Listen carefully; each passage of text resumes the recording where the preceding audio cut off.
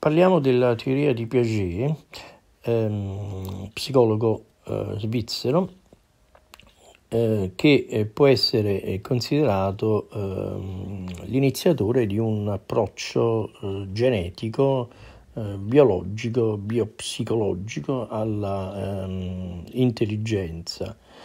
Ehm, secondo questa teoria l'intelligenza si evolve da forme semplici a forme concrete fino ad arrivare a forme astratte, eh, come appunto la capacità di formulare ipotesi e eh, ragionamenti eh, deduttivi. L'intelligenza per Piaget è una um, sorta di adattamento all'ambiente. E, um, questa teoria, eh, chiamata anche eh, teoria appunto genetica no, del, dell'intelligenza, eh, ehm, parte dal presupposto che eh, inizialmente nel, nel, nostro intelletto esistono eh, degli schemi per lo più innati eh, che ehm, vengono utilizzati per eh, rappresentare operazioni semplici o complesse. Ehm, e questi schemi eh, sono um, poi successivi agli schemi ehm, sensoriali, schemi motori e eh, a quelli che sono poi mm, mm, i riflessi innati, i riflessi arcaici come il riflesso di Moro il grasping reflex, ehm, che appunto sono ehm, risposte diciamo, automatiche a degli stimoli ehm, prodotti dal, dall'ambiente. Questi schemi vengono um, eh, modificati attraverso due processi che sono l'assimilazione e l'accomodamento. L'assimilazione eh, consiste nel processo attraverso cui eh, si ha esperienza del mondo um, attraverso eh, appunto attraverso schemi o concetti che sono già in possesso del, eh, dell'individuo. L'assimilazione quindi è un concetto biologico sostanzialmente.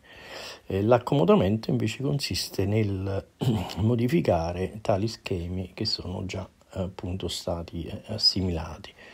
Eh, pertanto l'adattamento che coincide con quella che Piaget chiama l'intelligenza è una forma di equilibrio tra assimilazione e accomodamento e quindi presuppone una diversa organizzazione mentale.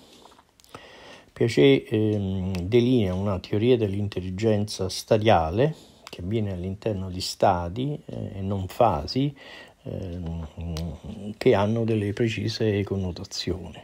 La prima forma di intelligenza è quella caratterizzata dalla, dall'esercizio dei sensi e del movimento, pertanto Piaget parla di un'intelligenza sensomotoria caratterizzata da un comportamento intenzionale, dalla comparsa del pensiero rappresentativo simbolico, dalla comparsa dell'imitazione differita e dall'acquisizione della nozione della permanenza dell'oggetto.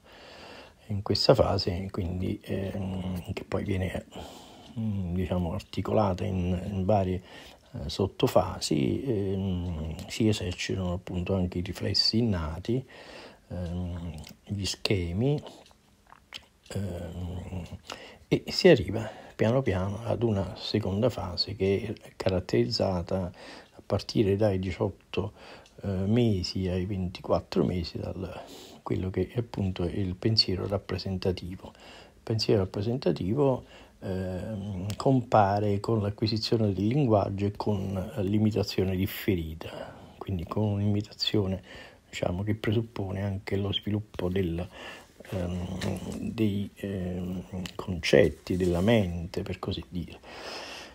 Dei due sei anni eh, si può parlare di stadio preoperatorio caratterizzato dall'egocentrismo, quindi dall'incapacità di, di centrarsi, di leggere la realtà da più punti di vista e dal pensiero reversibile, quindi questa incapacità che consiste nel ehm, eh, considerare ehm, una situazione alla volta paragonandola ad un'altra, insomma, quindi non, eh, è un'incapacità insomma, che il bambino ehm, ehm che attraversa questo stadio, eh, che il bambino appunto non, ehm, non riesce, insomma, per così dire, a padroneggiare due, due o più situazioni contemporaneamente. Eh, in questo stadio ehm, si eh, individua anche una sorta di gioco che è il gioco simbolico, eh, un gioco di regole, gioco di costruzione eh, che eh, diciamo, eh, si può affiancare al gioco di esercizio caratteristico dello stadio senza motori. Ehm, successivamente, quindi dai 6 anni in poi, dai 6-11 anni, si attraversa lo stadio delle operazioni concrete e si acquisisce appunto il concetto di reversibilità. Eh, reversibilità appunto vuol dire che eh, il bambino è capace di fronteggiare due o più situazioni eh, contemporaneamente. Parliamo quindi anche delle operazioni logiche e delle operazioni di classificazione, di seriazione, di inclusione.